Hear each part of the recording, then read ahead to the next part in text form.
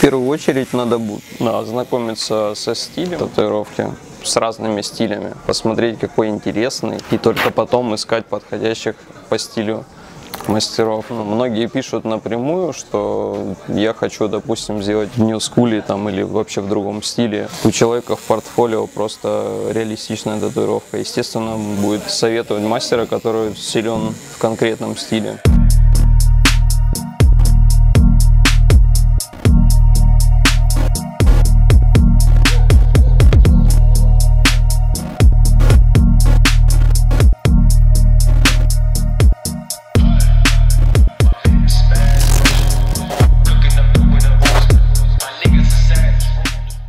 И не нужно татуировку гуглить, это ошибка. То есть ты не должен прям выбирать именно из интернета. Для этого существует консультация, прийти в студию, проконсультироваться, если ты делаешь первую татуировку, и уже идти более конкретным задачам.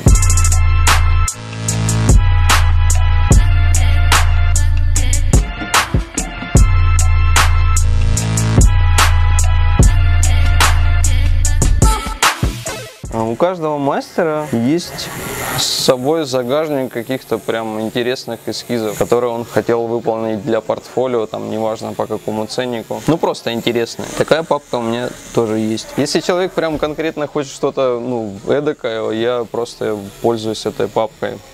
Мне почти она уже пустая.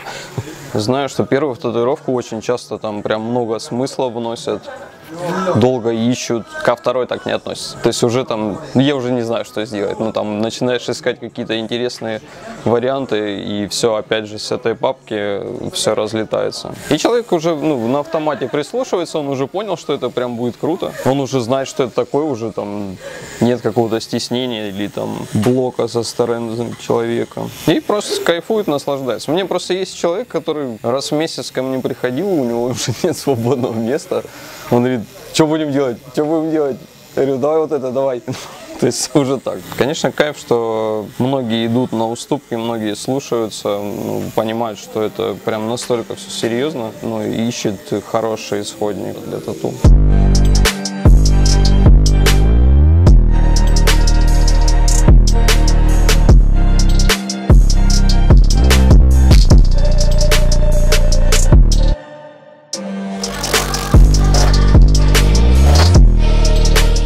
Я думаю, просто, опять же, поговорить с мастером и прислушаться, потому что мы всегда хотим помочь, наоборот. Просто, чувак, говоришь, я не знаю, блин, что выбрать, я уже вот там сломал себе мозг или перерыл весь интернет, приходишь, окей, давай, садись. И дальше ищем уже сами вместе ну, на консультации, потому что ну, большинство татуировок реально нет там ни в Яндексе, ни в Гугле, ну, они просто у нас в головах, вот и все. Мы можем просто на словах описать идею, там, разработать. То есть э, какого-то прям конкретно сложного или сложной идеи ну, невозможно придумать человек. То есть это прям большая, кропотливая работа и человека, и мастера.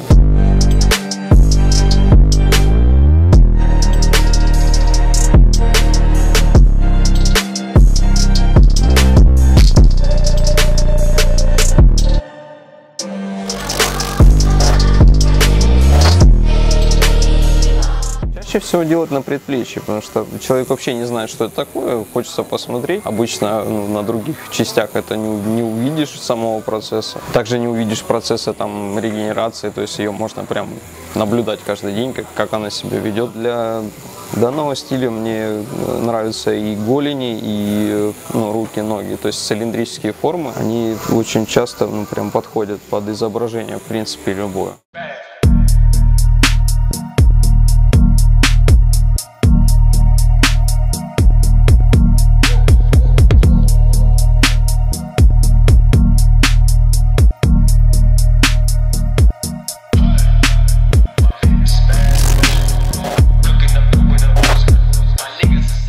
Приходит чувак и просит какашку. Сделай какашку. Я говорю, это какашка, какашка полная. Давай выбирать что-то еще. Но часто я меняюсь в лице просто, когда мне показывают фигню такую. И я говорю, блин, чувак, ты всю жизнь это будешь носить, ну неужели? То есть, ну ты сто процентов уверен, что ты ее там будешь носить всю жизнь. И он, да фиг знает, там, может, удалил там. Смысл, говорю, делай там, давай искать что-то схожее. Я говорю, ты сейчас вот просто элементарный пример, ты хочешь купить хреновый костюм, короче, и ходить с ним всю жизнь. Хочешь, ну, наверное, 95% говорят, его да ну не. Ну, либо отправляешь просто на раздумье еще, потому что, ну, сделать всегда можно. Там в любой момент вообще пофиг. Поэтому, ну, лучше потратить там несколько консультаций, там, или искать, искать что-то похожее на то, что ты хочешь. Или там примерно.